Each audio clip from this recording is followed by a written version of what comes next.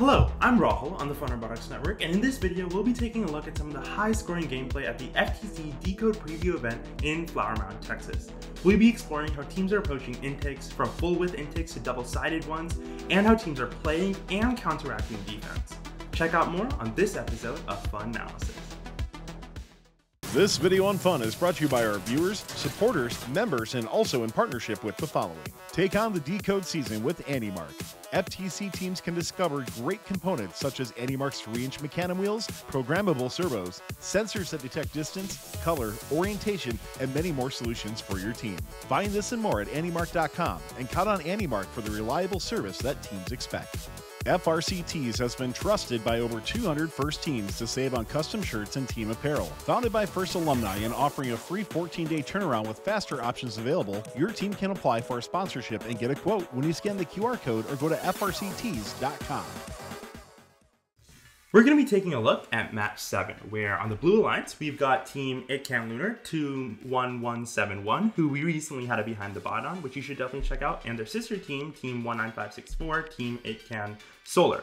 And on the Red Alliance, we've got Team 19502, the Moment Makers, and Team 23213, open source. Now, to start off this match, we're going to see some really interesting strategies develop in how the alliances are approaching the autonomous period. We're going to see a team Itcan Lunar have a really good shot from long range to start off the game, and I think that's going to be really big for teams is developing consistent shots from the far zone, especially in autonomous, to better coordinate with your partners. Now, going on a bit forward, we see them hit those shots from the long range, but next we're going to see what has the makings of a really well coordinated autonomous from the Blue Alliance. We're going to see Team Itcan Solar immediately go after their initial three shots to go open the ramp to allow all the future shots to fall in as classified. While Team 21171, Itcan uh, Lunar is to quickly intake the balls and go to shoot them. And we're to see that play out here where they're pretty well coordinated and they don't collide with each other at all, which is really impressive. And I think teams are going to be have to really want to look into that and get even if it means getting practice with alliances before competitions, so that they can avoid collisions autonomous and have really high scoring autonomous. We can see they almost end up right next to each other, which just shows how well coordinated their autonomous is. Now, going into the TeleOp period, there's going to be a key, few big things we want to look at. Uh, one is going to be how teams use are using their intake. Both teams on the Blue Alliance have really wide robot intakes, and Team 2 3213 open source has a double-sided intake as well, which which is going to prove to be really helpful. Now, the second thing we want to look at is how especially open source is avoiding penalties, which is going to be really key later in the game when the score is really close. Uh, as soon as TeleOp, the TeleOp period starts, we're going to see the team, the team, the moment makers go to open the latch, which gives team Itcan uh, Lunar the key to okay, now it's our turn to go and immediately intake balls from that area because they know artifacts are going to spill into that secret tunnel zone and human player zone, and that the Red Alliance robots cannot touch them. We're going to see them quickly go and touch that latch, and we're going to see, uh, if I go back a second, we're going to see Team Open Source recognize that Itcan Lunar is here and that it's a very dangerous position to be in because of the risk of penalties. And even touching them while they're in that secret tunnel zone will incur penalties. So they quickly get out of there, which gives Team Itcan Lunar the chance to use their super wide intake and pick up uh, pick up balls from the center. Now we're to see on the other hand, Team Moment Makers has a slightly smaller intake, which especially when artifacts get trapped in the corner, it can be more difficult to um, to grab the balls that are fully in the corner. But they do get it relatively quickly here, but it's important for teams to consider because of the amount of how common it's going to be for artifacts to be in the corner. Now, this is going to be the first of three in- instances we're going to see in this match where um, team open source has to shoot while being nudged slightly by one of the Blue Alliance teams. And they do it really impressively throughout this match, which I think teams can use as inspiration in sort of developing software that allows them to shoot while moving. We're to see Team Itcan Solar sort of nudging them while they're shooting, yet they still go three for three on those shots, which is immensely impressive, especially considering how light they seem to be compared to Itcan Solar. Um, Traditionally, heavier bots like the bots on the Blue Alliance or heavier, bulkier bots might be more advantageous in situations, but if lighter, nimble bots can combat this by software that allows them to shoot by moving, that gives them a huge advantage. Going forward a little, we're going to see an example of where uh, Team Open Source's double-sided intake comes into key. They're going to pick up this purple ball from this human player zone, and another green ball from the human player zone, and then immediately go around to grab this purple ball that rolled out of the classifier ramp. Now, this is something that any other robot with just a one-sided intake would need to turn 360 or 180 degrees for, but with their double-sided intake, they're able to quickly grab this purple, this green, and then grab this purple that rolls out from the other side, which really helps them in aiding their cycle times. Now, if going forward a little, what we're gonna see is that uh, teams are gonna continue cycling, but the Blue Alliance especially is gonna use their large frame to sort of help them in while they're cycling, slowing down open source and moment makers. We're gonna see Itcan Lunar here use their large frame and quickly and slightly nudge open source while they're heading on their way across to the other side. They nudge them, gets them off course, veers them off course, their path is no longer a straight line.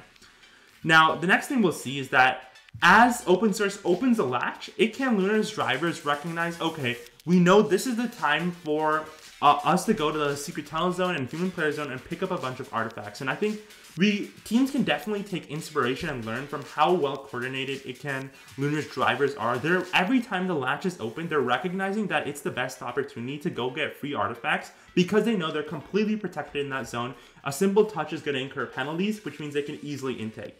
Um, we're gonna watch them go. We're gonna use their.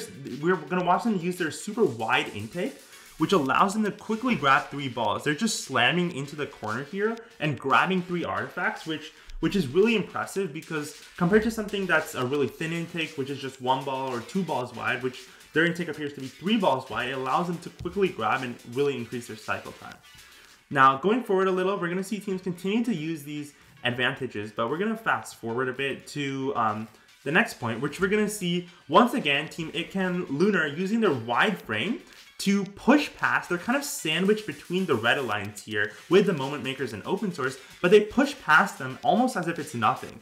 And I think that's going to be where teams who choose to go for a more heavier or bigger bot are going to see advantages. They're not going to be as affected, not just when they're shooting, but even when teams are just moving from zone to zone, just general bumps and nudges are just not going to affect them as much and they're going to be able to keep straighter line paths. While we saw earlier on, lighter robots, smaller robots like open source or moment makers, they might get more veered off course when they get nudged or hit along the way. Uh, next thing we're going to see is uh, a second, the second instance in this match of open source shooting on the move, which is super impressive. And this one is more direct. They're getting pushed directly by Itcan Lunar, and they're gonna shoot their shots and actually hit two out of three of them. Which, if we replay that, is super impressive because all they're almost getting pushed directly from what looks like at least a 20 or 30 pound robot directly from the side into there, and they still get two out of three balls. And that's that's a huge advantage of how how a smaller robot could be if you're able to mitigate it through software. Now we're gonna see open source's double-sided intake come into play once again. They have this purple ball right here, right in their front of their this the backside of their intake, and then they quickly go to intake this other purple ball right in that far launch zone.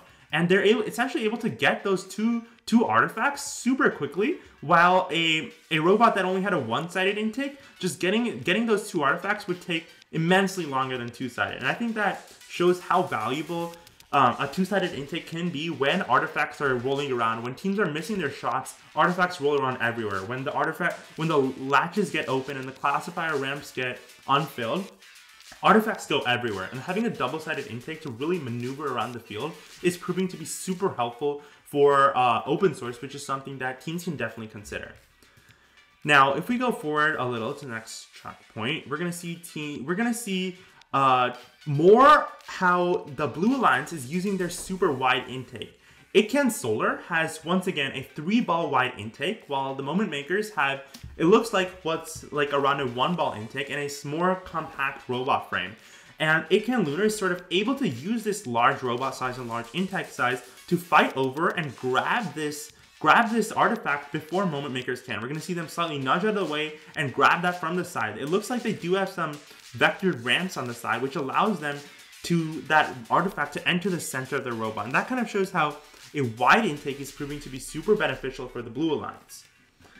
Now, going forward a bit, what we're going to see is is more defense and interaction here. We can see the three robots back to back to back, which kind of shows, but if we look at the far launch zone, it's super empty, which kind of points into question that if teams can develop consistent uh, shooters from the far launch zone, it's to be so much more open and so much less defense defense like def- so much less prone to defense because of how little robots there generally are in that zone. Now, um, going forward a little, the ne- the next key thing we're going we're going to see is that open source's drivers are once again making the super good recognition that Itcan Lunar is heading over to the secret tunnel zone, which means that open source being in that secret tunnel zone is a, is really dangerous because they can incur a ton of penalties. So they quickly get out of the way and that leaves Itcan Lunar a team uh, able to quickly grab artifacts. And this this kind of shows a level of understanding of the rules from both drivers of open source and Itcan Lunar that I think teams should really develop in their drivers in reviewing that competition manual and knowing what penalties are incurred at the secret tunnel zone, what zones are protected and what are not, to understand when you need to get out of a zone and when it's optimal to go quickly into a zone. Now, going on, what we're to see next is the third instance of open source having a really good ability at shooting while moving. This time they're getting put they're gonna be getting pushed by both two um, Blue Alliance robots, which are definitely on on the bigger side, and they're able to like I think hit one out of three of their shots. We're gonna see we're gonna see them do it right now, where they get pushed from the side by both Itcan Lunar and Solar, and they're gonna hit one out of three, but barely miss the other two. The other two were pretty close, and I think this shows how if teams can develop consistent shooting while moving, it's going to be a huge advantage in, in beating these really bigger and more larger robots. And that's really impressive by open source. Now, going forward, the next thing we're going to see is how teams are sort of approaching the motif strategy at in the end game. We know that um, motifs and autonomous require some sort of indexing or sorting, but in TeleOp, you can uh, Itcan Lunar is using the human player to allow them to get this purple, this green, purple, purple pattern, and quick, which matches the colors in the classified ramp and what's the what's needed, which allows them to just drive straight into this and just pick them up without having to worry about the order or things like that. And that shows how teams can use the human player zone to really efficiently grab those artifacts from the zone. Now the last thing we're going to see is open source make a quick beeline to get a partial park in, and that those five points in the partial park are actually going to be match changing if penalties didn't exist. If we see the final score, we're going to see that uh, the Red Alliance with open source and moment makers won by 28 points. But if we take away penalties, that last second end game partial park was the difference maker that that let them win. And I think that shows how crucial those last second end games and if teams can develop um, both robots parked fully within, that would be those last second points can be super crucial in matches like these. Thank you for listening to this episode of FUNalysis. Let us know in the comments what you think of the strategies of a double-sided intake and a full width intake, as well as how teams can employ defensive strategies to their game. Make sure to like and subscribe to keep up to date on future videos like these, and I'm Rahul signing off on FUNalysis. Thanks for watching. Don't forget to like, subscribe, and click the bell to stay up to date on future fun videos. FRCtees has been trusted by over 200 First teams to save on custom shirts and team apparel. Founded by First alumni and offering a free 14 day turnaround with faster options available, your team can apply for a sponsorship and get a quote when you scan the QR code or go to frctees.com. Take on the decode season with AndyMark. FTC teams can discover great components such as AndyMark's 3 inch Mecanum wheels, programmable servos, sensors that detect distance, color, orientation, and many more solutions for your team. Find this and more at AndyMark.com and count on AndyMark for the reliable service that teams expect.